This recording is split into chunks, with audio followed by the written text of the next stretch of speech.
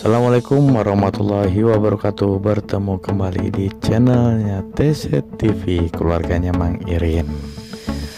Dan video kali ini adalah Video hunting tentang kereta api istimewa.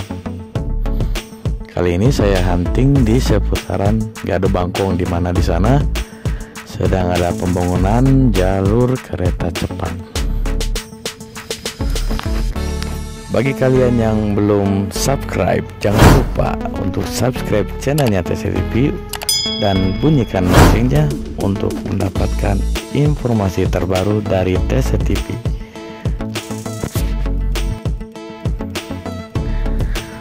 Oke, inilah suasana stasiun Gada Bangkong di mana ada KRD Bandung Raya di sana yang sedang berhenti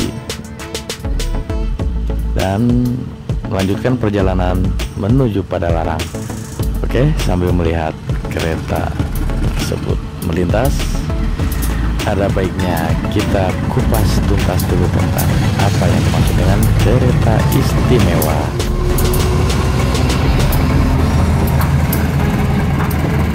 Kereta api istimewa adalah kereta api komersial yang diresmikan pada tanggal 28 September 2019 oleh Menteri Perhubungan Budi Karya Sumadi didampingi Dirut Direktur Utama PT KAI Edi Sukmoro yang bertepatan dengan ulang tahun ke-74 KAI. Untuk informasi harga kereta istimewa adalah 19 jutaan per sekali jalan. Kereta ini terdiri dari dua kereta dengan total kapasitas 40 penumpang. Kereta istimewa dilengkapi dengan meja panjang untuk kepentingan rapat yang dilengkapi kursi empuk dengan sentuhan klasik yang elegan. Layar lebar dan proyektor untuk presentasi juga disediakan.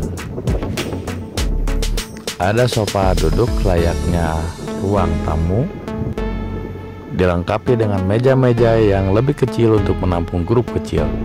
Fasilitas yang disediakan seperti ruang rapat, lounge, minibar, karaoke, musola, dan toilet.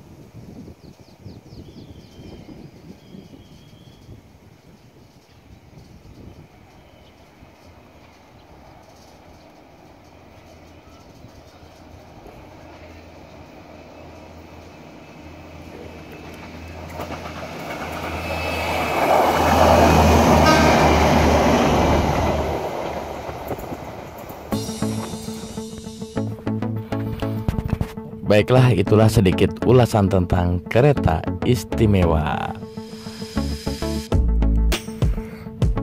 Terima kasih sudah menonton dan nantikan video-video informatif berikutnya di channel TCTV Keluarga Mahirin. Wassalamualaikum warahmatullahi wabarakatuh.